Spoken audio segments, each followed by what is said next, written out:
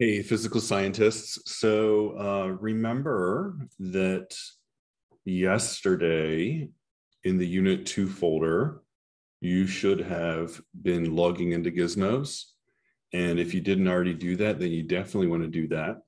If you are trying to catch up, then you want to make sure you've logged into Gizmos and that you've done the slope gizmo first, okay?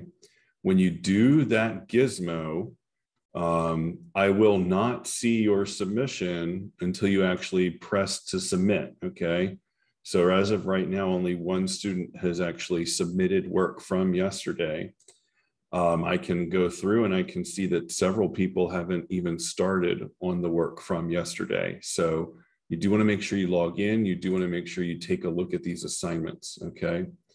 In this same folder, Notice that yesterday we did this gizmo on slope and you answered the assessment questions after the gizmo. You want to do the same thing today, but with this cat and mouse gizmo, okay?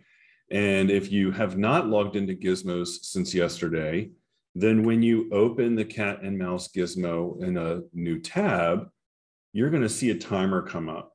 And that timer is because you're not logged in to make that timer go away, whenever you go to Gizmos, just put in your password. Log in and then notice that the, the, timer goes away. So if you see the timer, it means you're not logged in and that you need to log in to be able to uh, use the gizmo and get the timer to go away. If you're not logged in, you also will not see the assessment questions that show up below the gizmo that are asking you to think about what you observed in the gizmo. Okay. So this gizmo is going to be about linear systems. So this is going to help you figure a little bit more out about the equation of a linear line. And we'll reinforce that some tomorrow with an extra video. And notice that you also have these exploration sheets and you want to click to open your exploration sheet although I know yours will look a little bit different on the student side.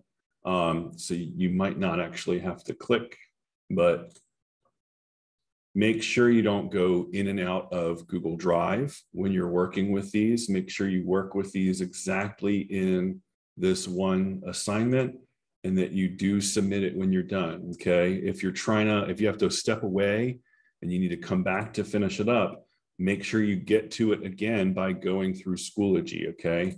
Don't try to open this uh, individually from your Google Drive or it won't submit the right way anymore then, okay? So um, notice again that you have some vocabulary. Now you should remember what slope is from yesterday. And uh, if you haven't gotten to it in math class yet, by doing today's gizmo, you'll be able to figure out and explain what a y-intercept is, okay? So again, these prior knowledge questions, these are really warm-up questions for us to do as a class. So go ahead and read over these now and think about what the answers would be. So Kristen is driving on the highway at 60 miles per hour. How long will it take Kristen to reach a rest area 90 miles away? So Kristen, I'm just going to type K, can cover 60 miles in one hour to cover the last 30 miles will take her how long do you think?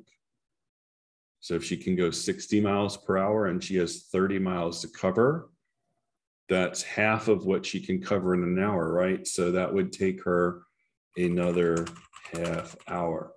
So 1.5 hours total. Does that make sense? Do you agree with that? If you don't agree with that, or you're not quite sure how to figure that out or to think through that, make sure you ask. You can leave a comment on the side, okay? And I'll see that and I can respond to you. Kristen is 20 miles behind a truck that is driving 50 miles per hour. How long will it take her to catch up to the truck? How far will she go in that time? Well, if she's going 60 miles per hour and the truck is going 50 miles per hour, then it's definitely going to take them time to catch up to each other, right? The car, Kristen, to catch up to the truck. If um, the truck is 20 miles ahead and going 50 miles an hour, then that means in that first hour, the truck will have traveled or will have traveled 50 miles, but will actually be 70 miles away from where Kristen started, right? In that first hour, Kristen will have moved 60 miles. So, time to catch up to the truck, if she's going to go 90 miles in an hour and a half, and the truck is going to go 100 miles, no, 75 miles in an hour and a half, okay, um, then, and the truck is 20 miles ahead of her, then not even after an hour, even after an hour and a half, she will still not have caught up to the truck, right? So she's trying to make her total distance be equal to the total distance of the truck, but the truck is going to be this uh, speed times time plus 20, whereas Kristen is just going to have her speed plus time. So time to catch up to the truck is definitely going to be greater than 90 minutes, right? So at 90 minutes, K will have traveled 90 miles, but truck will still be 120 miles away from, sorry, will still be 95 miles away from start. Okay. That's a little bit long for this warm up box, but based off of what I think you know coming into this right now, I don't expect you to know how to um, solve those two linear equations that would give you an exact answer here. But you should kind of be able to think through this step by step. Now, maybe we'll come back to that again after this gizmo when we start to do the extension questions, okay? And um, we will be able to solve and see how we could find that exact point. Okay. Um, again, this is a little bit more of a math kind of exercise, but because we're going to be doing a lot of linear equations in physical science, overall, I think this is a good exercise for you guys to work through. So again, this is kind of the warm up for the class. Then we have the gizmo warm up. So you want to definitely make sure that you have the gizmo open in a different tab. Okay. A small mouse plays on the floor, unaware of the cat creeping up on it from behind. The cat springs and the mouse desperately runs away. And you could simulate that here, okay? And you could see, does the cat ever catch the mouse? No, not with that system, okay? In the gizmo, you can drag the slider. Da, da, da. Will the mouse reach its hole in time to escape the cat overall? In that case, no. In the gizmo, you can drag the sliders to adjust the speeds of the cat and mouse, as well as the head start of the mouse. To quickly set a slider to a given value, remember you can click on the text field, enter the value, and then hit enter. The time and distance of the cat and mouse are shown on the graph. On the controls tab, drag the mouse head start feet slider. What changes about the graph? So again, we don't really like this unit of feet in science. We would rather use meters or centimeters. Um, but this is what you're going to see, at least with this gizmo. Um, it does give us nice integers here, at least that we can work with. Okay. So if we drag the mouse head start feet, what changes about the graph? What's changing about that blue line that is the mouse? What's happening when we move the head start up? the whole line is moving up, right? What do you notice if we give the mouse a head start of 10 feet? What do you notice about that blue line on the graph? Hmm.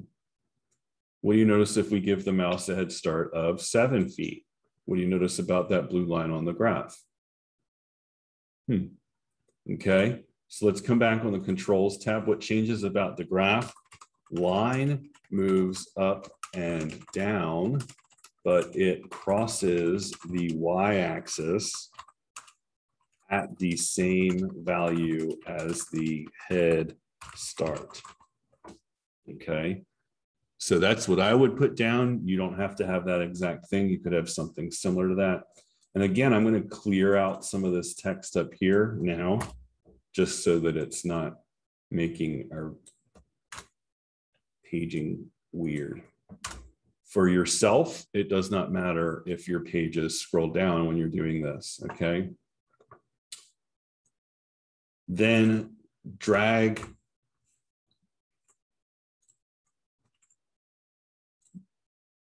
then drag the mouse average speed. What changes about the graph? So let me come back here and let me refresh the page. Yeah, because I didn't remember what our starting value was. So if we move the mouse speed, what changes about the graph? It's that how fast it goes up by, right? What do you call that? What do you call the steepness of that line? Hopefully you said slope, right? So let's go ahead and use that language here now, okay? The slope of the mouse's line changes. The slope matches the speed. Would you agree with that? So if we're saying that the mouse's speed is four. Do we see that blue line go up by four over one second, feet per second? Does it go up by four squares over one second? So zero to one, we've got it going up one, two, three, four. It touches that line there, right? Where should this line go if it's going to have a slope of five? Well, it should go one square higher there. See, that's five for the slope and then it's going through that square. So six, seven, eight, nine, 10. Let's go to 10 real quick. Remember, you can type in. Notice that it goes from 5 to 15 over one second. So that's a slope of 10. Okay. Click simulate. Does the cat catch the mouse? Well, what do you notice about the blue and the red line? Do they ever cross? They don't. And the mouse is running faster than the cat in that case, right? Even if we reset it to the original situation, this was the original situation. Did the cat catch the mouse? No. Okay.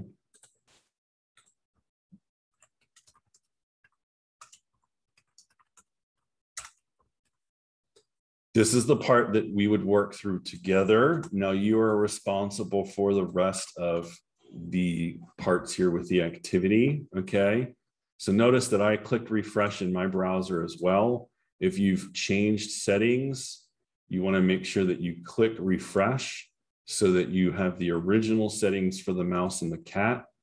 And it's going to ask you to um, do some of these things. Okay, you can also check this box here without having to simulate it. And it will just, it'll tell you what the outcome would be of the simulation. Okay. Um, and then that would tell you the time of capture as well. As you work through this, again, make sure you're filling in the orange boxes, okay? Continuing through. Remember, and you should know this from yesterday as well, but this graph here, to edit this graph and to graph the scenario, you want to come down here and click on edit, okay? You're not going to have colors here. You can zoom in though. So you could zoom in to fit maybe. You could zoom in 200%. Okay, and scroll. That makes it easy, easier maybe to do the graph.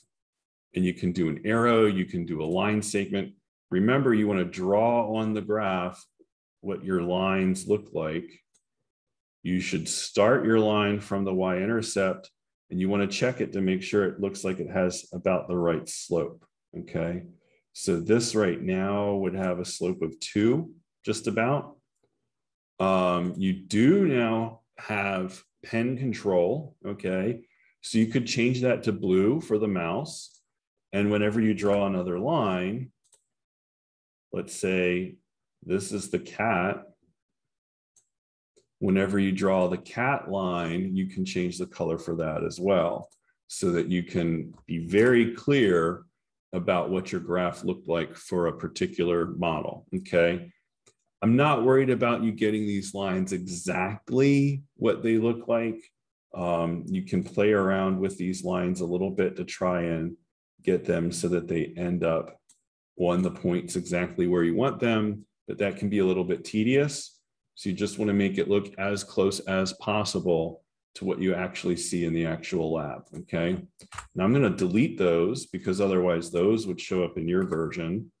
And I want you to actually sketch the graph that you see, okay? Um, when you get through activity A and activity B, you can stop and come back to the assignment to watch the second video where we will work through this extension, okay? And I'm also gonna show you in my own notes at the end of the extension that we'll go back to the prior knowledge question here with Kristen driving, trying to catch the truck, and we can analyze that situation and find an answer, okay? So you want to work through activities A and B, but before you submit this, you also want to watch the video where I help you and work through the extension with you. Okay. And you want to make sure that you're filling in these answers as you watch that video. So uh, I hope this is helpful. Please let me know if you have any questions.